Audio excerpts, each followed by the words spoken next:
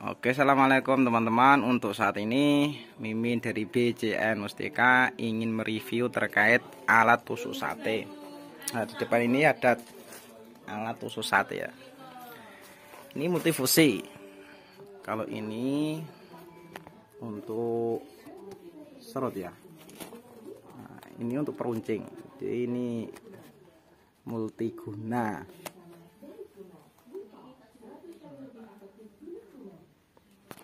jadi bambu yang sudah di seperti ini kita masukkan. Nah.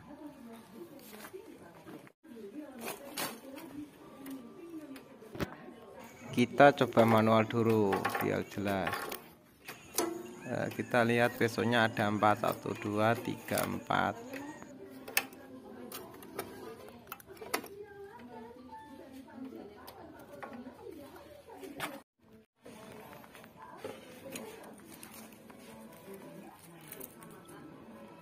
jadi 4 sampai 5 ini jadi 4 ini untuk serut. Kemudian kalau ini untuk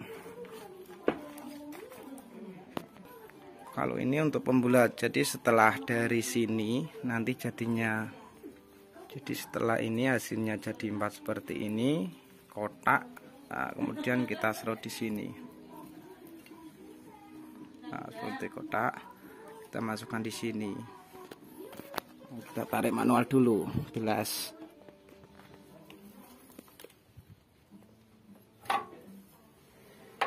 nah, di sini ada mata mata pesonya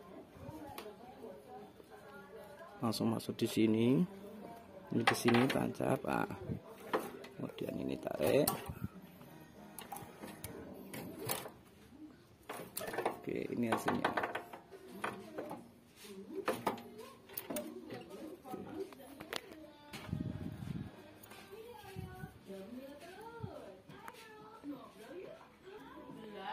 hasilnya bulat seperti ini, ini sudah bulat teman-teman.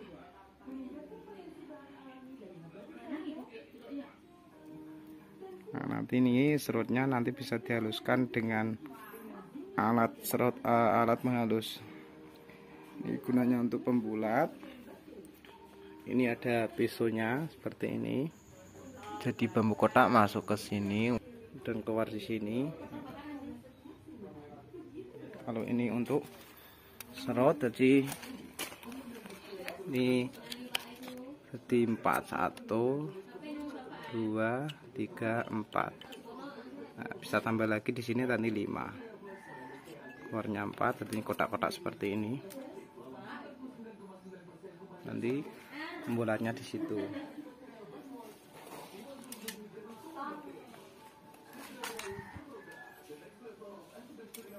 Kemudian untuk ini ini reka dari mimin uh, untuk apa ini peruncing. Jadi ini sebenarnya nggak ada. Mimin tambah sendiri jadi peruncingnya sini. Peruncing seperti ini.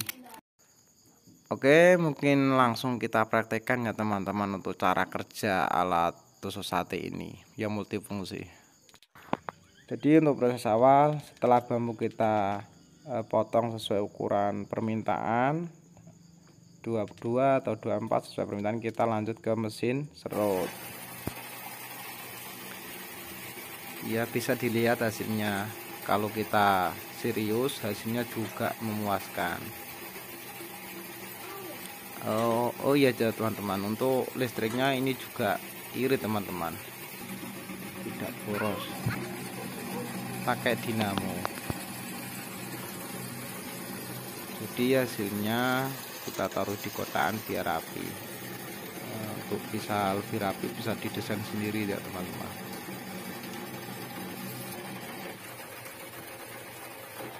Nah, setelah itu kita proses pembulatan ya pembulatan tusuk sate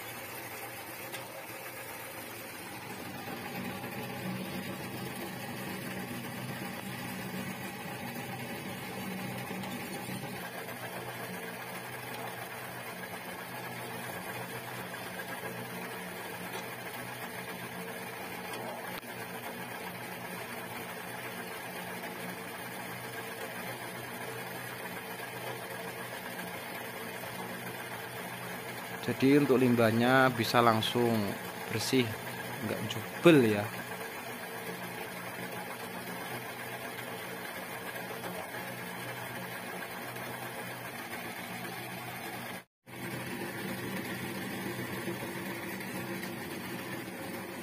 Ini hasilnya teman-teman bisa kita lihat. Uh, sudah halus ya teman-teman. Sebenarnya hasilnya ini sudah memuaskan bisa langsung digunakan. Oke setelah itu kita proses untuk peruncingan. Tapi ini dari mimin ya teman-teman. Uh, ini desainan mimin sendiri. Di agak lama sih. Sebenarnya ada alat khusus untuk peruncing tapi ini uh, ngirit dana ya teman-teman. Kita gunakan alat seadanya mungkin untuk alat peruncingnya uh, untuk video yang lain akan mimin share ya teman-teman.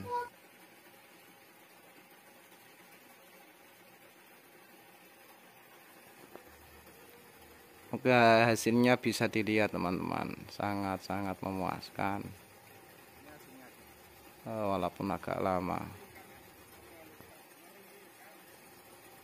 Oke mungkin sekian dari kami BGN Mustika untuk alat review yang lain mungkin akan kami share di video yang lainnya teman-teman.